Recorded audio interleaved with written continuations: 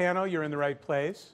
Uh, I'm Jeff Blattner. I'm an uh, adjunct professor here at uh, the law school.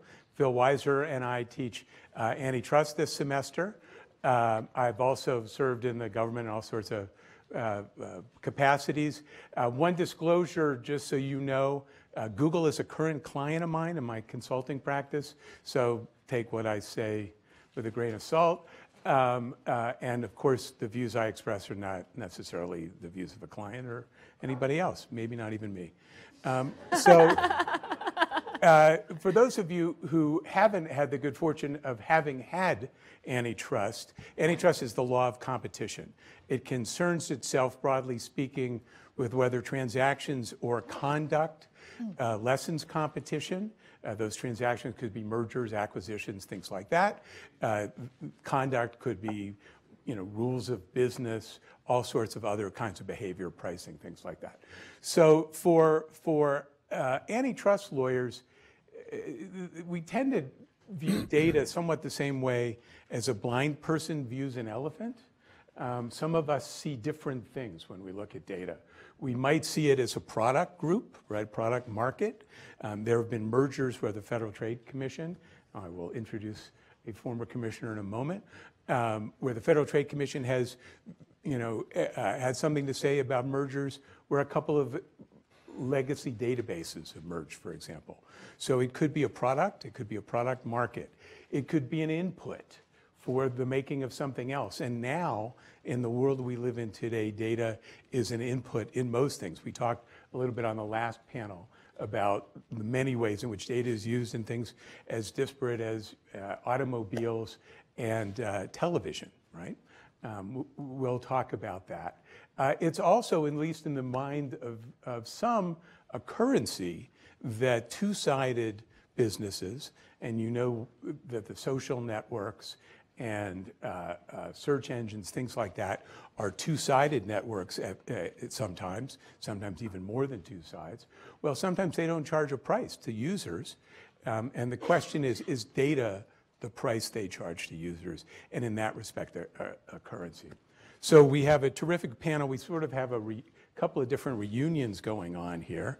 Um, uh, we've got immediately to my left Karma Giulianelli, who's a partner at Bartlit Beck and was a member of the trial team in United States versus Microsoft. I was special counsel for information technology and deputy assistant AG during the Microsoft case. We have uh, Nancy uh, uh, Liebman. Libin. Libin, Libin, my bad. Um, who uh, was formerly on uh, Vice President uh, Biden's staff, when uh, uh, he was uh, uh, in the Senate, and then you were at the Justice Department uh, in a, in, a, key privacy role. You're currently at Davis, Wright, and Tremaine. Right. Okay. Terrell McSweeny, former FTC commissioner, former Biden staffer. Um, um, why am I keep mentioning Biden? Because when I was Senator Kennedy's chief counsel, Senator Biden was chair of the Judiciary Committee, and he occasionally reminded me that he signed my paychecks. so, uh, that's why. Uh, uh, Terrell just wrapped up a very successful tenure at the Federal Trade Commission and is now a partner uh, at Covington and Burling, a great law firm in Washington, D.C. And last and not least, Christopher Jon Sprigman is a professor at New York University Law School and co-director of an innovation center there. Like Karma, he was on the Microsoft team, Chris in an appellate capacity. He was also a professor at the University of Virginia Law School before going to NYU and uh, uh, uh, has a relationship with Sullivan and Cromwell, is that right? No. Um, no, Simpson Thacher. Simpson Thacher, I get them confused. Okay, so with that, we will we'll start. And um, let me let me start by throwing a question Terrell's way, which is, you, you've left the commission recently. The commission's one of the two main antitrust enforcement agencies. How does the how did the commission see data, and what's changed since you left that might prompt one to change change the way you think about data? Uh, well, thanks for throwing the first question to me, Jeff, and thanks so much for to It's the prerogative of your for, office. Uh, for having us all here in this terrific panel. And it is kind of, it's like a Microsoft team reunion and a Joe Biden reunion. It's kind of great. Uh, Only at Silicon Flatirons, right? I guess I also have to disclaim everything I'm about to say, so it's my own view. It's not the view of anybody else, or um, it's going to be my view, though. I'll, I'll, I'll own whatever I, whatever I say here, Jeff. Um, so what's changed at the FTC? Um, well, what's interesting about the FTC is that for the first time in its 104-year history, it's entirely reconstituted with five brand new commissioners. So a lot has changed at the leadership level of the FTC. I think it's a little bit soon for us to completely understand where the majority of the commission is going to head on some of these issues because they're currently engaged in a really ambitious project, which is hearings on uh, the state of competition and consumer protection in the 21st century. Um, that sounds broad, it's because it's on literally everything that is kind of a hot topic in privacy, cyber, consumer protection, data policy, and antitrust law at the moment. Um, it's, it's pretty amazing, and they've cast a really wide net. I think they should be applauded for that. Um, the leadership of the agency has said, well, we have a really open mind about these issues. Um, we want to be challenged. We want to understand whether our frameworks are keeping pace.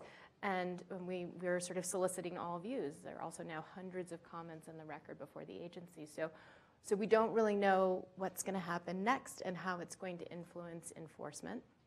I think uh, you did a nice job, Jeff, actually, in your opening remarks, highlighting how the agency has handled data issues in the past. And um, I suppose I come down as, as a person who thinks the antitrust frameworks as they currently exist are relatively flexible. The toolkit can be adapted to dynamic changes in the marketplace and changes wrought by technology. Um, you know, you have to be willing to do that, uh, to, to use all the tools in the toolbox and not just focus narrowly on price effects, for example, but focus on innovation and quality effects. Uh, but, but when it comes to data, I think it's really important that antitrust agencies continue to uh, be antitrust agencies, by which I mean focus on the facts, understand the competitive significance of the data that is before them, and evaluate um, that, that accordingly, right? So making generalizations here, I think, is highly problematic. The agency so far has stayed away from that, uh, both agencies, DOJ and, and the FTC. Um, but they have, in certain situations, identified data as a barrier to entry, identified data as a product market, and, and taken action accordingly. So I don't know that we're going to see a different approach, uh, but we may see them build on that approach.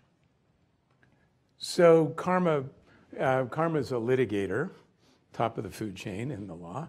Uh, uh, as you think about what Terrell just uh, described, um, data can be a barrier to entry. Data uh, uh, might be a, a, a currency uh, in, a, in a transaction.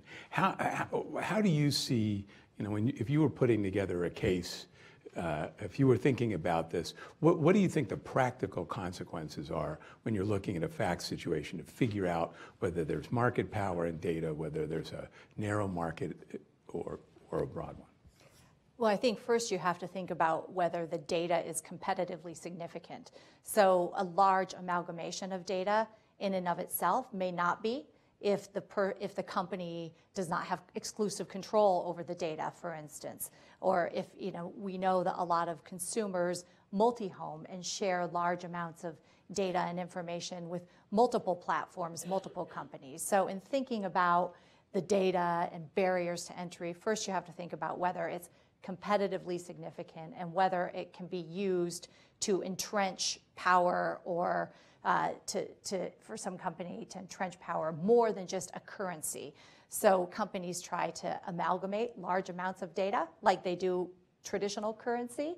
But unlike traditional currency, where you can maybe just go to the capital markets, get more money, data can actually be used to entrench power. So first, I would look at uh, building a case based on exclusive control of data, something that gives a company unique access to the data or entrenches their power. And once you have that, of course, you have to look at whether there's an impact to consumers and competition. So, you know, part of the narrative at trial, if you're asking about trial, is not just looking at a company that has power, has control over a lot of data, but how that really impacts competition and consumers. It is not at all clear that the control over a lot of data is a bad thing. Could be a bad thing, but it might not be. So you'd have to create that narrative. Thanks. And so Nancy is a privacy lawyer and not an antitrust lawyer, she was wont to point out. Um, but, but we just heard the word control used a lot. And in the previous panel, we, we talked about data being non-rivalrous, for example. What do the privacy rules have to say about the terms of trade for the antitrust analysis? Karma talked about somebody having exclusive control of data. Well, what about us?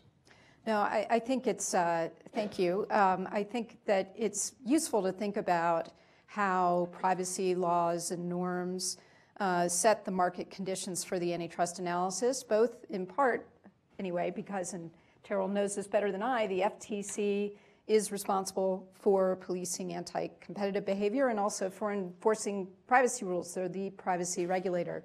And um, I think you know we can tease out a little bit as we go along ways in which uh, um, enforcing uh, the antitrust laws might actually have an unintended uh, adverse consequence on privacy values.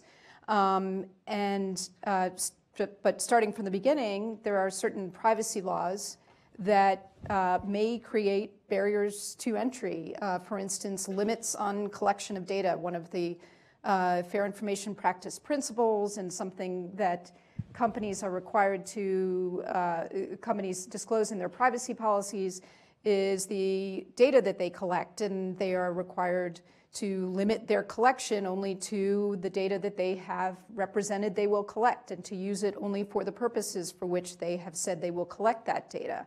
Um, there may be prohibitions on sharing data with third parties um, either contractual or legal. Uh, some companies are under FTC consent uh, orders, which may prohibit them from doing that. We heard a little bit in the previous panel about data deletion requirements. Um, that may prevent some companies that hold a lot of data from sharing that data with other companies as well to level the playing field. Um, and then we also have heard a lot from the FTC over the years about data broker regulation.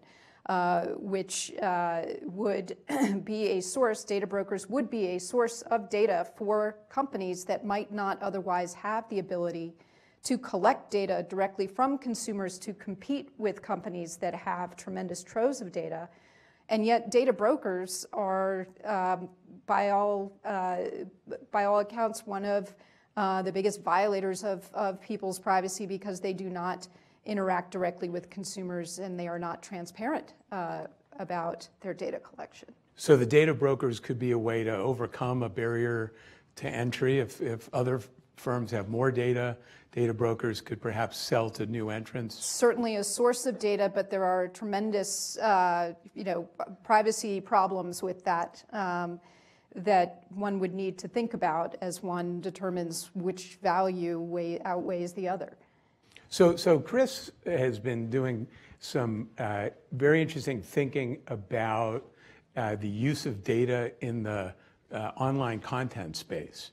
Um, and and uh, from that perspective, what do you think of what we've just been discussing? So from an antitrust perspective, as you said, you know, it's, it's a little bit like the elephant. So what, what part of the world of data are we looking at? So let's look at a particular part, which is the, the world of data as it applies to the creation of new content. And let, let, me just point to audiovisual content first, and we can talk about whether this applies anywhere else. But so, um, you know, a decade ago, Netflix was sending you envelopes in the mail. And today, by some accounts, they're the biggest studio in Hollywood. They're incredibly successful. Um, Amazon is following along in their path.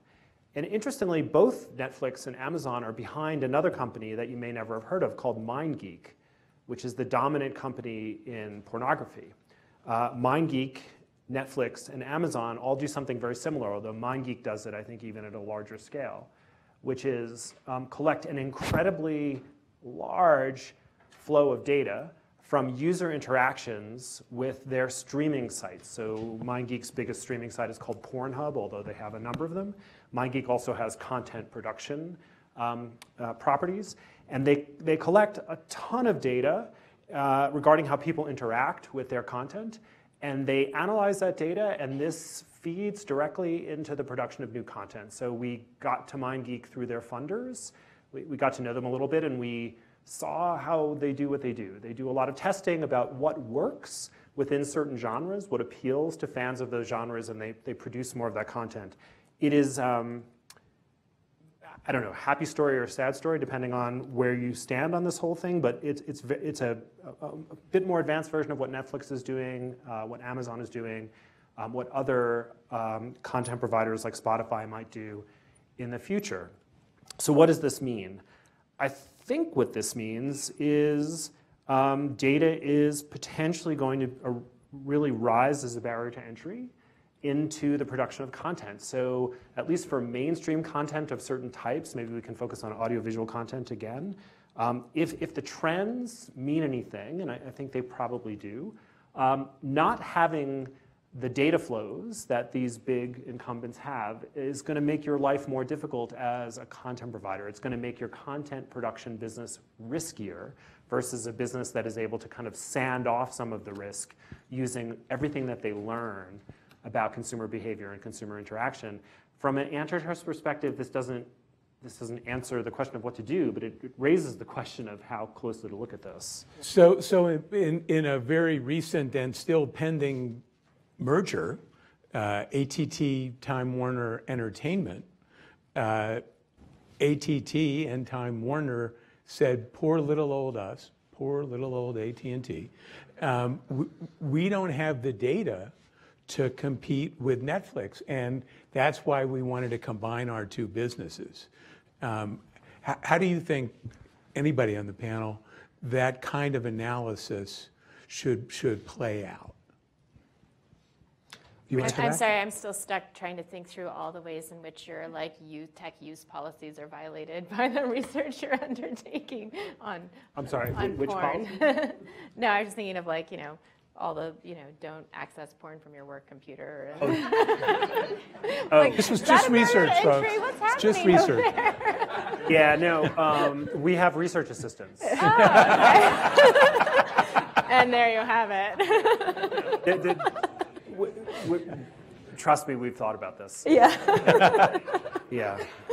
But serious question, and I think it's a it's a very difficult issue. Time Warner, you know, which is a content production company. It's not the cable part. It's the That's HBO and, Right. and CNN, among other. So they Warner said, you know, we're not we're not allied with a platform. And so think of the difference. So, you know, it's always been the case. So there was Nielsen, right, and there's box office receipts. And Pam Samuelson was mentioning this earlier, and she's absolutely right. There always was this, this data collection mechanism. But it's, it's, it's a toy compared with the data collection mechanism that a digital content platform provides, which is a two-way street. And if you think of you know, what Netflix is doing, they're logging every interaction. They're using this to construct increasingly fine-grained um, profiles of their audience, what their audience likes. This helps them make recommendations. This helps them to decide whether to greenlight projects. Time Warner basically said, look, if we can't do this, we can't compete. Now, you know, they, they had every incentive to overstate their woes. But I, I do think there's a kernel of truth to it. I think over time and on balance, they're right that this is a significant competitive advantage that they want to access. The real question for me, and it's going to, if the antitrust agencies get a hold of this, I'm sure they'll start thinking about the, the, the math. And the math is, um, and Jeff mentioned this earlier, I think it's, it's absolutely correct. Um, do the advantages of scale just keep going up and up and up, or at a certain point do you achieve enough scale where you maximize the advantage from being able to understand your audience better? If, if it's that second thing, then we might get a fairly happy result where we get a bunch of large but nonetheless not dominant platforms competing. If the returns to scale just keep going up and up and up, we might not. And I think the jury's out on that question in part because we don't know what kind of data analysis methods are coming around the corner. Okay, so can I just jump in on this because I think it's fascinating, not just because of the research assistants watching university computers, although that's interesting too. Um, it, None of that happened, by the way. Okay. Just so we're clear. I'm Yeah. kidding. Uh, but so related to that, right? Yeah. Which is how, like, this is a question. Um, how would antitrust enforcers want to think about the fact that there isn't necessarily a barrier to collecting that kind of audience data? I mean, create a cool offering, Apparently, pornography, like people will come and they will watch it, and then you'll get their data, and you'll know how to, to what to do with it, I guess. Except there could be a barrier. I mean, if you're thinking about the economies of scale and a barrier to entry, if you, if there's a company, for instance, Google, I mean, they become more and more powerful and more and more uh, attractive to advertisers because they have more data about the consumer. So if you're thinking about uh, the, the, the barriers to entry, there very much is, there are econ- economies to scale, of scale of having it, but there very much is a self-reinforcing network effect there. So I think that the more data you have, the higher the barrier that uh, could be presented for another company. The theory of barriers is always interesting, though, because the theory sometimes runs into the facts. So, what happened in the adult entertainment industry is super interesting. So, the, the people who own MindGeek came in, and the first thing they did was they, they kind of flooded the market with pirated content. And then this, the story goes in the industry, this drove down the value of the producers, which then MindGeek got a whole bunch of venture capital and bought up. Right now, that happened a while ago, and so what they ended up was this vertically integrated colossus of producers and distributors. They have the leading distributors. They have a lot of the leading producers. Um, if that that's been stable for a while, you know, so if there was no barrier to entry, one might imagine another very significant platform doing the same thing without the piracy, but it hasn't happened. Well, that's, uh, just to throw, throw a little focus on, on, on that, what you often find in networked markets, and everybody knows what network effects are, right? Um, uh, that you have somebody in a closely adjoining space who has similar distribution and access to similar data, and they may, may or may not enter. Now, whether that's Netflix or Amazon in the porn space, I know if not. But, uh, um, but in theory, I guess what you're saying is entry may be feasible for someone who's not right in the same market segment. Entirely possible. I, I, I think there are tremendous reputational barriers to entering Right. into that particular market. So maybe that doesn't actually work in another market. Maybe another market would be quickly, you know, susceptible to competition by another platform. So I, I, I think this conversation really nicely tees up a very unresolved question around data and one that certainly is having a lot of debate right now, uh, both domestically here in the U.S. but also globally, which is what you know how ought antitrust enforcers ought to regard like very large amounts of data and potential sort of network effects that are self-reinforcing. If I could summarize your your point. Um, I think that question is an open question, and I would just note that there is a really vigorous debate on both sides of that as to um, as to whether that is actually an antitrust problem or whether that's just like an interesting feature of some digital markets. Um, we could circle back to Nancy's issues, which could also create some impacts on how we think about those issues, which I think is really interesting and kind of where, where things may be coming together in the data privacy cyberspace and colliding with the competition space. So Nancy, what do you think about that? Well, um, I think it's, it might be uh, something to look at, particularly in the case of, and, and I'm wading into antitrust law here, which the place I don't really belong, but um, where there's some sort of non-price uh, competition issue. Um, so you might have um, other companies, I'll think of online dating, uh, where you've had uh, Match.com and Tinder and others that that have seemed to blossom in that space. Um, all of these companies now, their their access to data, they just need to provide a platform. I guess that would be one difference, and hope people show up. Um, but uh, that is a space where once you're there, um, I would imagine people uh, have developed some sort of a network or have some incentive to to stay uh, and engage um, that might, uh, you know, pr- pr- preclude them from going somewhere else. Um, Well, so so let's let's pause on that for a minute. The Online dating may be an example. Audiovisual may be a- an example where, at least in theory, um, privacy could be a vector of competition, where a dating app or a or an audiovisual platform might have a different privacy policy and use that as a basis for uh, acquiring users or keeping users. Um, the, the missing ingredient, it seems, might be transparency, right? How do you, how do you compare, unless you read the terms of service, which nobody seems to do, um, uh, unless you read the terms of service, how do you have the, enough transparency to enable consumers to have, uh, make an informed decision whether privacy is, is a vector of competition? Well, I think that's a really difficult, I think that's a difficult thing to do. And I think that if you look at, uh, we can see it in the search market. For instance, you have DuckDuckGo that has tried to develop a search engine to compete with Google, um, promising that uh, it will not use your data to track you uh, over time and across the internet to serve you advertisements. The only advertisements it will serve you are contextual advertisements based on the search term you input at that moment. Whereas Google, as we know, collects data from a whole host of services that it offers.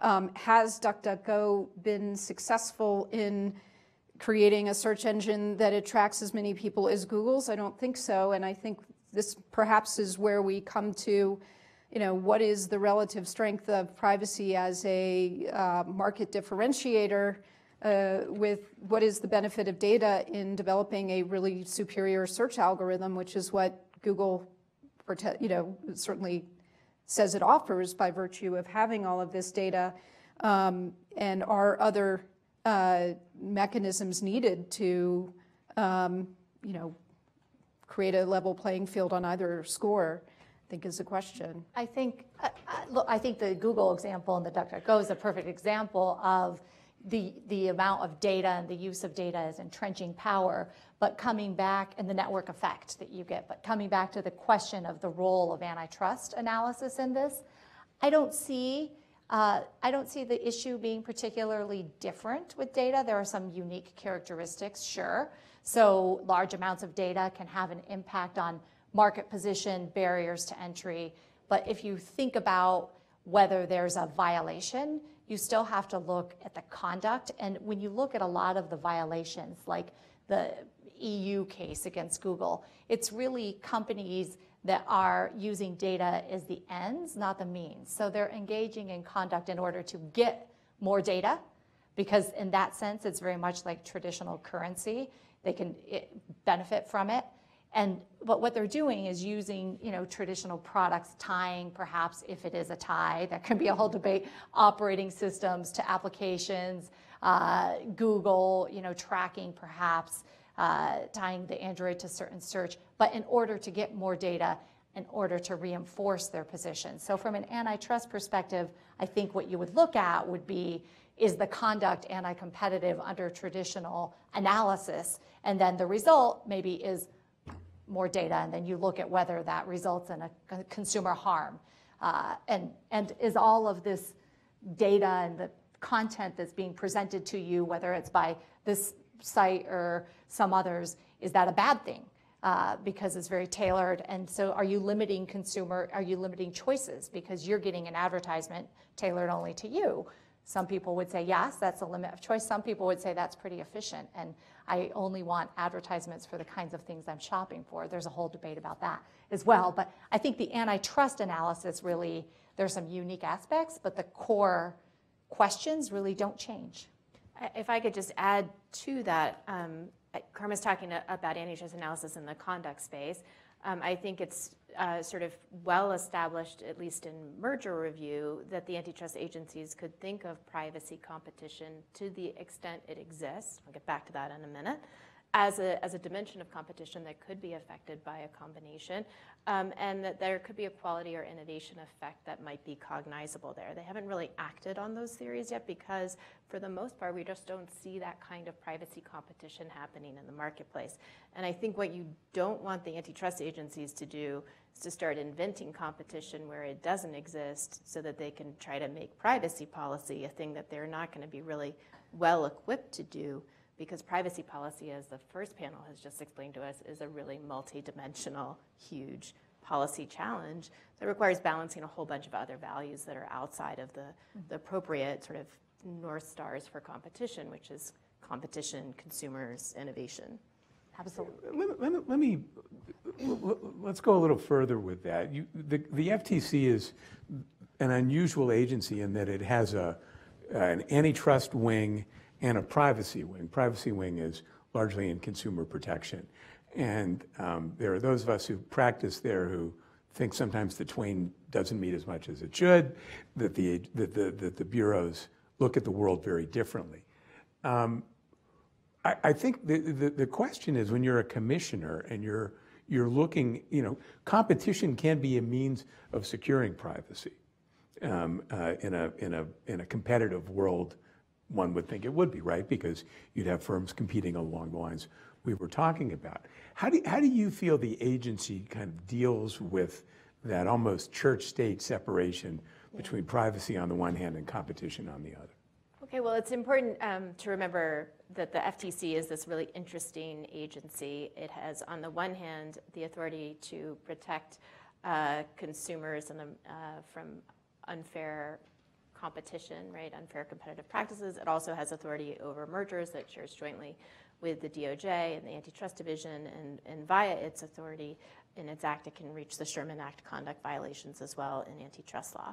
Um, but on the other hand, it also has this consumer protection mandate. Um, and I'm vastly simplifying because there's actually like 37 other laws it enforces on the consumer protection side, but let's put those over here for a second, like FCRA and all of that. Um, uh, but it has this other, other responsibility, which is to perfect, protect consumers from unfair, deceptive acts and practices in the marketplace. Um, uh, so the, the so-called UDAP authority. Um, so those are different authorities, and I think um, the consumer protection side of the House thinks in the terms of its UDAP authority, and the competition side of the House thinks in terms of its competition law authority. Um, and there are differences in those frameworks. That is appropriate in my view. Those are also frameworks that also have common law aspects to them, so they've evolved differently in the court system. So actually what, what the authorities are there are, are a little bit different. We see sometimes the, the two sides of the House considering an issue, um, most prominently in um, the Facebook WhatsApp tran- transaction, where uh, there was this kind of, I wasn't there at the FTC at the time, there was a sort of um, uh, transfer over to the Bureau of Consumer Protection to remind Facebook that it had obligations to tell people clearly if they were going to change the terms of how they were handling their data um, after the transaction. That's a pretty well established privacy principle, but they sent this letter anyway. It was interesting, um, and it was sort of noted at the time. Occasionally, there have been sales of data. So when Radio Shack, um, for those younger people in the audience, that's a place where people used to go and buy radios and telephones and things. Um, it was cool. Um, uh, that went out of business, and uh, they had very large set of customer data that, in the course of bankruptcy, they wanted to sell. And so the consumer protection side had to take a look at whether that was sort of permissible under under the um, terms by which it was collected in the first place. Because in, in privacy law, at least as the FTC approaches it in the US, you can't retroactively reach back into a pool of data collected under certain terms and change those terms uh, without telling people about it. Essentially, you have to notify them. Um, and so we see a little bit of that. Um, we also see agencies, I think, interestingly, around the world looking at the FTC model as maybe the solution to bridge the gap between these consumer protection, privacy values, and competition frameworks. And like, that's the solution is put them all under one house. And so we see some other agencies starting to develop that way um, in Korea and other markets. And uh, and I think there's something interesting there. I guess I where I come down, having sat as a commissioner over both of those houses, sides of the house, is that. Um, that I, I think it's important for the competition enforcement agencies not to try to make uh, policy consumer protection choices because they're not often very well equipped with the tools that they have to make the right judgment calls there. Um, and that in fact, those are very complicated issues that may be best resolved over here on the other side of the consumer protection house, or maybe require new policies and new legislation that are also very complicated and multifaceted. So that, so Chris, the, what Terrell just referred to, I think, is the what antitrust lawyers and others call if all you have is a hammer, everything looks like a nail problem, right? Right. And we're we're we're at a point where, and you you alluded to this, Chris, in your earlier comments. Um, one can imagine far more robust uses of data going forward. When we get to the artificial intelligence world, data, of course, is the fuel that powers artificial intelligence. And um, there is a a considerable concern and some fear uh, uh, in many quarters about where that could take us. And I guess the question that, that Tara just raised in essence is how much is antitrust being asked to address problems that may need to be addressed in other arenas in other ways? Yeah, so my suspicion is antitrust is being asked to do a lot of things that it's never going to be able to do. So, so on this panel, there, we, what we don't have is one of the kind of neo-Brandeisian antitrust people who basically think that the scale of the problems is You want to tell folks what that So- is? Sorry, so, Sorry. so the idea that antitrust is kind of resolved, I mean, Terrell gave just now the, the, the kind of the, the dominant view of antitrust and consumer protection being different things, antitrust really resolving to consumer welfare, innovation, competition, right? So there's this kind of neo-Brandeisian perspective that's rising up. Um, I don't know how far it will rise, but it's rising up, and there, there's, there's the notion that antitrust used to be much more political and plural in its values than it became um, after the 1970s. And what we need to do in antitrust is go back to those plural values. So we need to think about the effect of, of uh, changes in market structure on labor. We need to think about the effect on small business. We need to think about the effect, importantly, on our political system. So agglomeration of economic power kind of translates in our system into agglomeration of political power. And antitrust used to be viewed not just as a consumer welfare standard, but as a charter of economic and political freedom, right? So let's go back to that. The problem with going back to that is it's, it's basically a theory of everything, and it's difficult to do enforcement when you have a theory of everything, right? It's like, well, you just pick and choose without constraint, and that leads to trouble, right? So I'm, I mean, I'm, I'm old enough and have been through enough where I am suspicious, I'm skeptical of this, right? But they have a point, and here's how I see the point. So take Amazon. Amazon is in the content business. They're, they are collecting an enormous amount of data. Uh, how are they doing it? They're, they're taking a bunch of content and they're offering it to you, quote, for free. It's not really free. They're offering it to you as an inducement to sign up for Prime. Now, of course, Prime is a central part of their strategy to become the pervasive retailer of everything, right? Once people sign up for Prime, which is this, you pay once, you get free delivery, people order way more, right? So, and they start replacing other purchases with stuff from Amazon. So this is a, a big vector for them to push deeper into people's lives, and it's, it's working very well. Content, creative content, is one of the way that, ways that they pull people into Prime: video, audio, books. Um, imagine that you know as this goes forward, Amazon turn, finds out that people's preferences over creative content are actually very useful in predicting their preferences about shovels and you know shoes, um, which I can imagine is actually probably true. And if this is true, um, imagine that they just start to treat the content business as um, a, a kind of investment in all this other stuff. And so they basically just undermine the cost structure of the content business and basically reduce the, the, the, the, the payoff for investing in content unless you have this enormous superstructure of the everything store to basically use as a, as a, as a way to capture the value of content. So surely that would be an enormous change in a lot of things that we would be concerned about. Economic power, you know, where creativity comes from, how it gets marketed, right? Diversity and expression. Uh, this would be something we should be very concerned about. I don't think antitrust has the tools to deal with this at all. Like, where does antitrust even start? Is this a great story about you know people getting a lot of content for free? I mean, free sounds great. Or is this a really bad story about you know um, the choices in where you get your content shrinking? Um, I- I don't know how antitrust decides that. It's a real puzzle. And since we're sitting at a law school, if I could just jump in with an important aspect that is often lost from the broader policy debate, which I agree is an interesting policy debate, and you summarized it really well. Conventional over here, like New Brandeisian over there. Uh, not me. I'm, I'm not. I, Not- not I. I'm reporting. there. You decide. Uh, no, Yeah. but like raising important Yeah. points that are really Yeah. grounded in this larger uh, like conversation that's being had about whether there's a concentration problem at the macro level in several industries in the U.S. economy that is persistent and really related to economic inequality that is persistent. Those are important macroeconomic policy problems, um, and they are real, and I believe in them.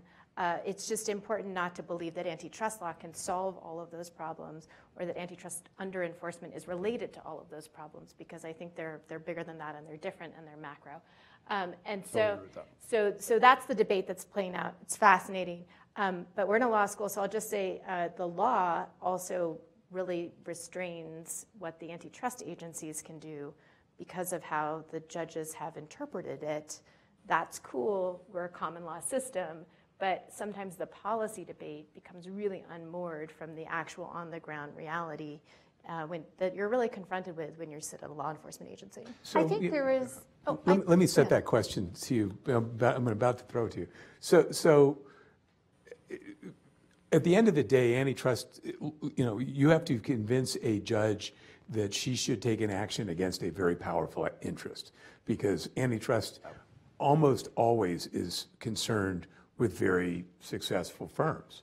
The, the, the other case is price fixing, but in the, in the, in the, in the conduct case, in the monopolization case, you're dealing with um, the most powerful firms in whatever segment you're talking about. And you're asking a judge to take an action uh, uh, um, to rein in that power. Um, How do you, uh, Microsoft was an example of that. Um, But how today, given the kind of swirl of concerns there are around antitrust, do you, do you see these issues showing up in the courtroom or not showing up in the courtroom for some of the reasons I think Terrell identified? Yeah, so I, I think there is, well, there's a lot in that question, but, but I think there is somewhat of an intersection between the privacy issues and the antitrust issues. Well, I agree that you are uh, not going to see, for ex- example, me arguing that just the, the fact that a company might have a lot of data and might be huge, that is not an antitrust violation in of itself. However, if a company is using its position, for example, to coerce uh, to coerce consumers or users to give data in order to sign up for a service that it might not want because that company might be the only choice as a practical matter out there, then that can be an antitrust violation under some circumstances and as well as a privacy issue. So there is an intersection there or the accumulation of data without consent or knowledge. That's a privacy issue. It can also be anti-competitive if it helps entrench a company. So coming back to the question of how to convince a judge, I think you really have to think not just about the size of the company, but the conduct. And that's where you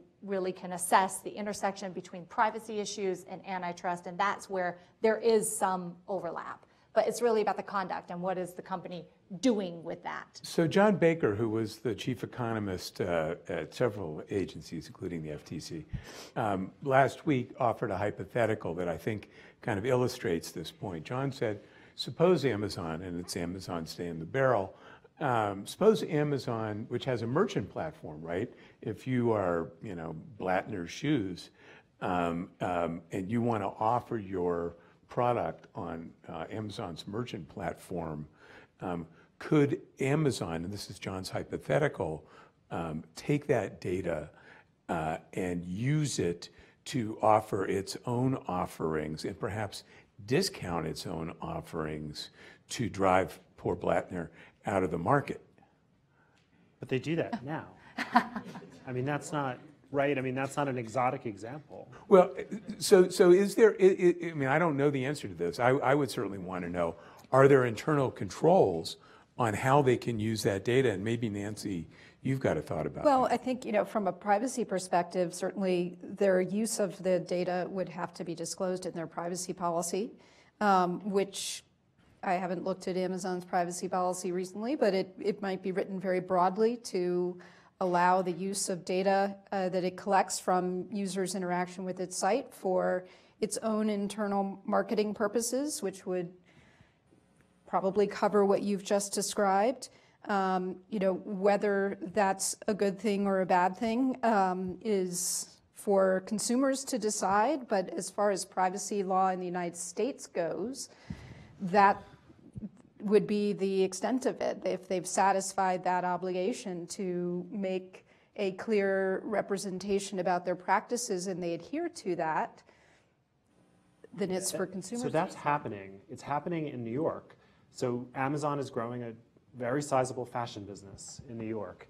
And they're doing it in part, I'm sure, by monitoring very closely what trends are selling well on their sites and by knocking off those trends, which is completely legal and good thing that it is legal. I've written about that. It spurs innovation. But that aside, one of the innovations it spurs is Amazon is using the data that's visible to it about sales on its own site to, um, to be a fast follower of fashion trends very successfully. And to the extent, and this, this implicates the antitrust debate and how much can antitrust do? Because to the extent that one of the things that antitrust is concerned about is lowering prices, then that is a good thing, right? Because all of a sudden you have Jeff Blattner's shoes uh, at, a, at a lower price. So in that sense, you're providing more products, more services at a lower price. Now the flip side of that is the, you know, some of the shoemakers might be going out of business if they can't beat the Amazon price.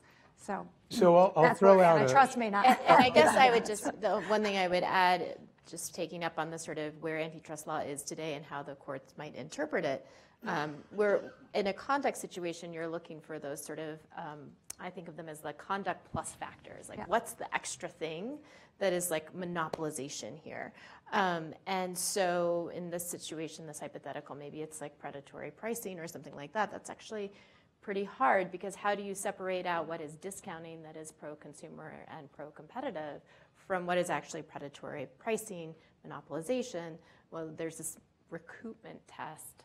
Nobody likes it. But, but at the same time, it's really hard to think about what is the right framework to figure out what, what is predatory pricing. so I'll throw out a term that antitrust lawyers should never use in polite company, which is essential facility, right? Which is, see, I guess right. So, so, um, which means, is, the- you know, think of the only bridge that a railroad could take into a town's railroad station. That, that's kind of the historic uh, essential facility. So if you're Blattner Shoes, do you have to sell as a practical matter on Amazon's merchant platform? And if you, well, that's, so that's the question, right? Because if you do, then the argument that, that Amazon gets to use the data that my customers generate on your platform, Amazon, the, you know, Amazon's ability to extract that and use it to compete with me, doesn't that seem a little troubling? Yeah. It's a leading question. It seems a little troubling, but, but Right. again, it also seems a little great. Yeah. So this is, this is like the double-edged problem. this is the It's like- thing. Yeah, this is the thing. It's like, you gotta pick your point, because on the one hand, it is troubling because it, Amazon's, it- it's hard to imagine another everything store, right? It's hard to imagine a competitor coming in that would compete with Amazon on how much are we gonna use the data on sales of your product over our platform to compete with you, right? Um, I doubt there's going to be competition on that uh, front. On the other hand, like Amazon is driving down the cost of things so relentlessly, right? So viewed through an antitrust lens, it looks on balance like competition is doing what it does, which is creating a lot of benefit and leaving a lot of wounded people in its wake, and that's the trade-off. Uh, Can I just I also like? I think it's important. There's a huge assumption in the hypothetical here, which is that you have to, right? Yeah. Uh, so let's like be careful with that because it has a lot of implications, and and I think, uh, you know, I don't know. I'd like to see a lot of evidence of why that would be the case. I think that's right. So once the assumption is that Amazon's the only place in the world that you can possibly sell your shoes, that there aren't other websites or other outlets, now is it what's called an essential facility, like the only bridge to get uh, to wherever you need to be? Very few of those that I know of. And if it is, what does that mean? Does Amazon have to carry every merchant that's out there regardless? Now you're talking about forced sharing, forced sharing data, forced carrying, all Right. sorts of other remedies and, and issues that come into play there.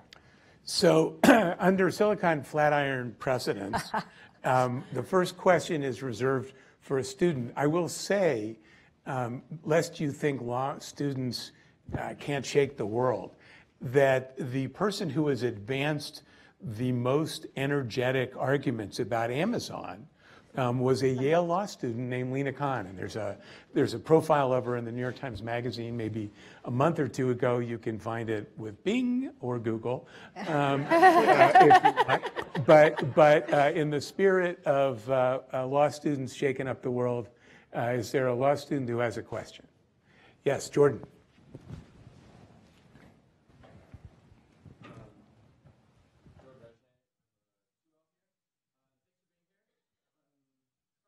You mentioned uh, at the beginning that we should factor in exclusive control and the impact on consumers when evaluating the competitive significance of data. And then, Chris, you mentioned at the end here that Amazon is driving down price. But when price has been taken out of the equation by a handful of free uh, internet platforms, how can we meaningfully in, uh, measure the impact on consumers uh, with today's antitrust doctrines?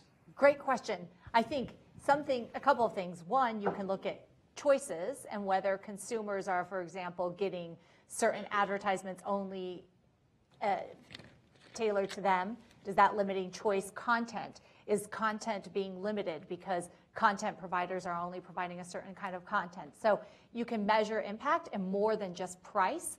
The other aspect, and then if you're talking about price, you don't just necessarily look at the price that the consumer is paying directly because some content might be free to consumers, searches might be free. But then what does that do to the price that advertisers have to pay? So I'm going to pick on Google. For example, Google. We use the services for free, but we know that Google charges advertisers uh, money because it's getting the data. Now, prices for advertising may go up. How does that impact? Now what, right? Are the advertisers passing along the higher prices for advertisers to consumers in the form of goods? So you don't only look at uh, impact in terms of the price directly that the consumer has to pay, although that's a huge part of it, but it also could be in the, the offerings and the choices that are available. Other questions? Yes, sir, in front. Yeah, uh, you mentioned at the beginning of the talk that you didn't necessarily think there was a problem with, with, would you mind? You, you mentioned at the beginning of the talk that you didn't necessarily think there was a problem, or certainly not an antitrust problem with uh, companies aggregating larger and larger amounts of data. Um, I would, I would ask, you know, the, the, the scale of the Equifax breach uh, affected, I think, literally every adult in the U.S. and, and, and many people in several other countries, and, and certainly that scale of that uh, effect of that breach is directly proportional to the amount of data they had collected. Is there maybe some sort of very blunt antitrust role in simply trying to limit the size of of some of these aggregators simply from a potential harm perspective, in the sense that not that they're doing anything in, in a pure antitrust uh, kind of way, but simply that they're, they've put enough data in one place that it becomes a very potential, very big danger. Ah, okay, so I'm going to, this goes to the debate. It, it's big, bad, what do you Yeah. do with the antitrust laws? So there's, it, when you're talking about antitrust and what it does, there's a big debate about that. I think the word is necessarily there, but why don't, why don't you, you both No, look I- like I you're think it's great. I jumping think to we answer both, this we one. both like inhaled breath, like on that. I think we want to be careful about using antitrust law to draw those kinds of lines. And what you're talking about is actually um, is data policy and privacy policy, data minimization. What are the responsibilities associated with holding that much data, um, and what investments correspond with that, and, and what are your responsibilities? And there, I will say the approach has been a bit of a sliding scale, right? What is reasonable around securing that and holding that in the, uh, uh, properly when you have a very large amount of it goes up when it's a very large amount of data. So when I think about large data pools, I think about pools, and I think about Fletcher versus Rylands, which is a, so I teach torts, and so there you have like a large collection of water, and it breaks through into a mine underneath a property uh, that's owned by an adjoining landowner. And the question is, what's the standard for liability for the collection of large amounts of water? And the court says strict liability, right? Because it's an unnatural use of the land. So the, the, the, re- the reasoning is not so great, but I think the principle might actually be great.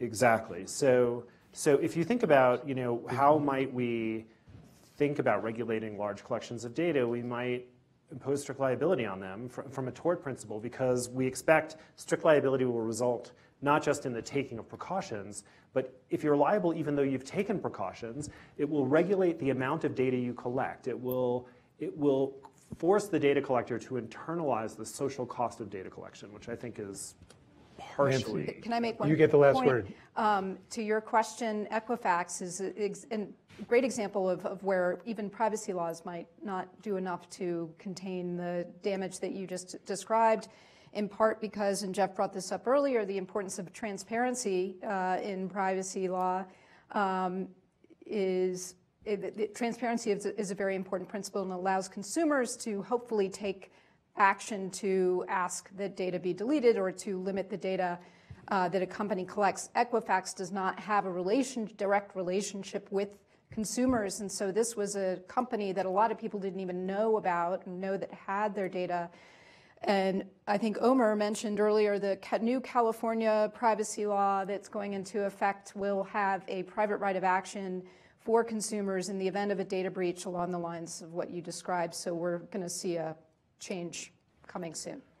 We are out of time. Let's join me in thanking our panelists for a great conversation.